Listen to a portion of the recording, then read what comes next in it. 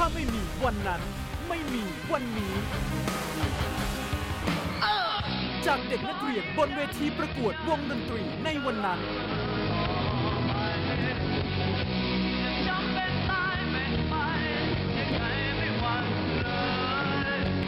ที่ยิ้มรับ จนกลายเป็นตูนบอดี้ส a ลม ศิลปินมืออาชีพซูเปอร์สตาร์ขวัญใจชาวไทยในวันนี้ ถ้าไม่มี Hot Wave Music Award ปีแรกถ้าผมไม่ได้เข้าไปอยู่ในในในเวทีนั้นไม่ได้ขึ้นไปประกวดในนั้นผมคงไม่ได้มานั่งพูดแบบนี้ไม่ได้มีอัลบั้มในนามวงละอ่อน ไม่ได้มีอัลบั้มในนาม Body Slam ร่วมค้นหาศิลปินมืออาชีพ คนต่อไปของประเทศไทย รายการ Hot Wave Music Award